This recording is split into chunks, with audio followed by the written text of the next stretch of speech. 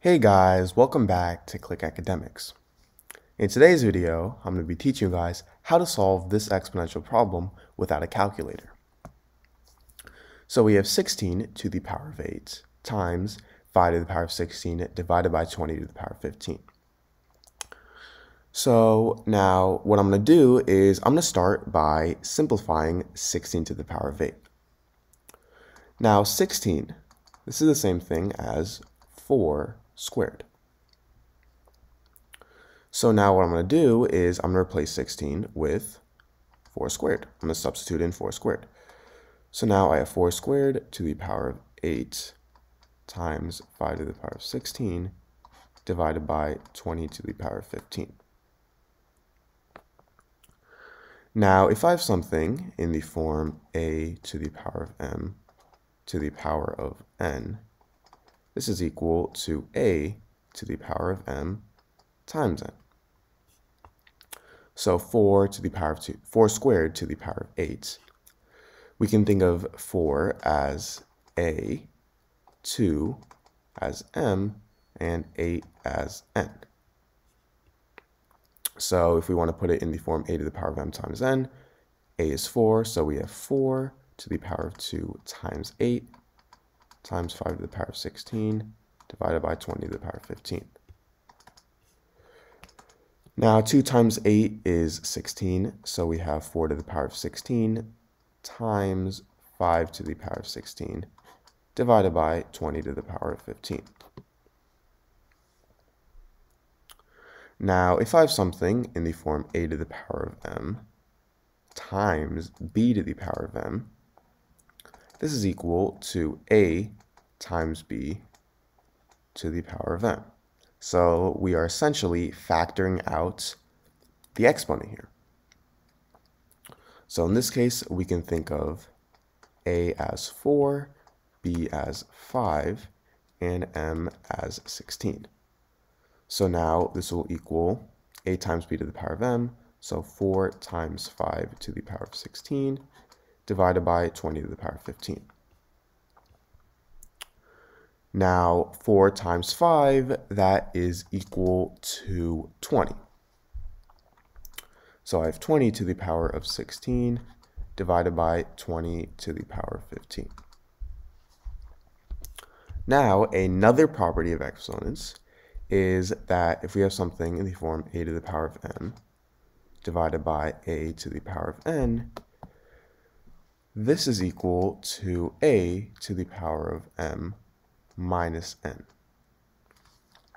So in this case, we have 20 to the power of 16 divided by 20 to the power of 15.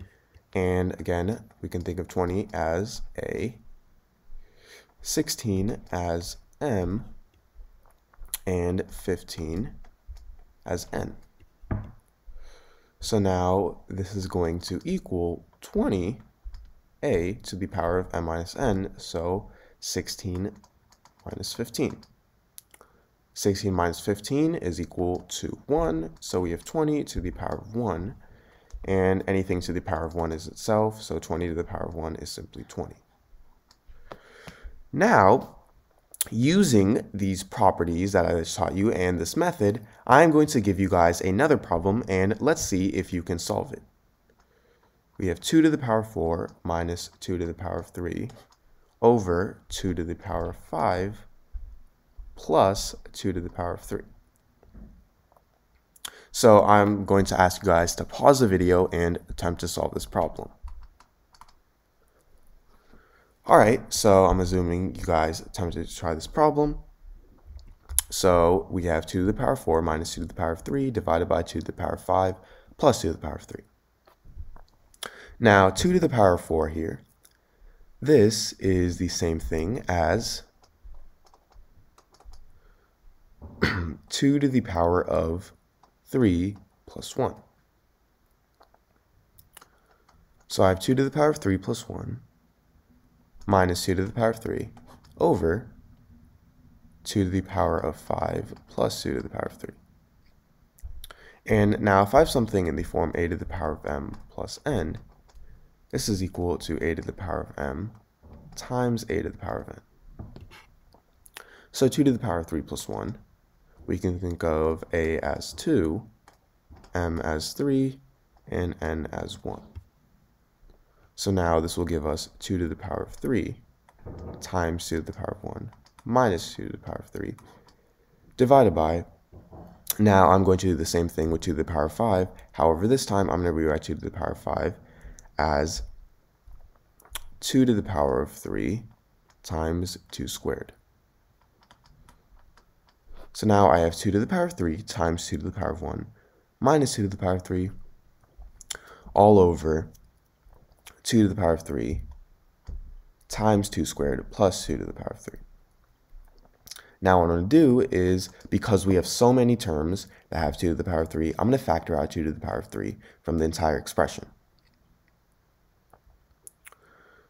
So I have 2 to the power of 3 for our numerator times 2 to the power of 3 times 2 to the power of 1 divided by 2 to the power of 3 is simply just 2 to the power of 1 minus 2 to the power of 3 divided by 2 to the power of 3 is 1. And we have this over. Again, I'm going to factor out 2 to the power of 3. So I have 2 to the power of 3 times. Now 2 to the power of 3 times 2 squared divided by 2 to the power of 3. Simply 2 squared plus 2 to the power of 3 divided by 2 to the power of 3 is 1.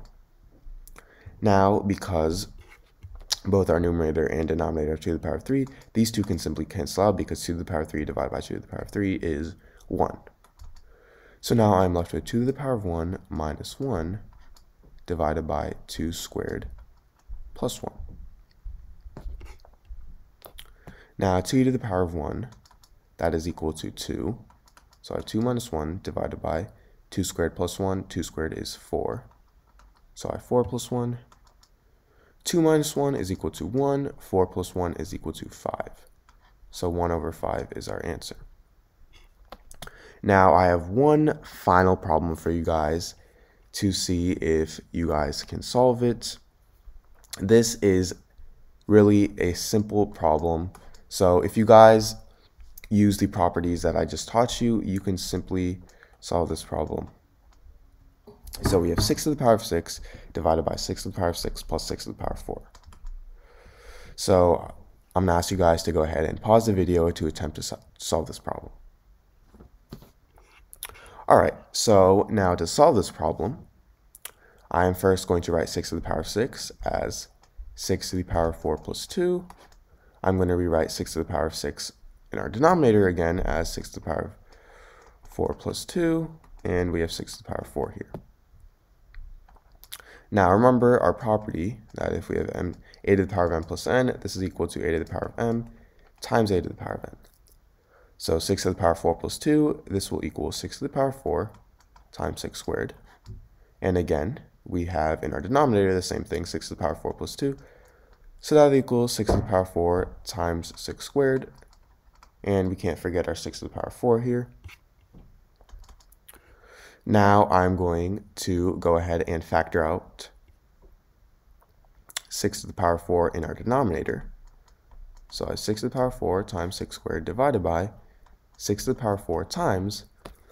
Now 6 to the power 4 times 6 squared divided by 6 to the power 4 is simply 6 squared plus 6 to the power 4 divided by 6 to the power 4 is 1. And now, because we have two 6 to the power 4s, these two can cancel out. So now we have 6 to the power, 6 squared, sorry, divided by 6 squared plus 1. 6 squared is equal to 36, so I have 36 over 36 plus 1. 36 plus 37, so I have 36 over 37, and that is our answer.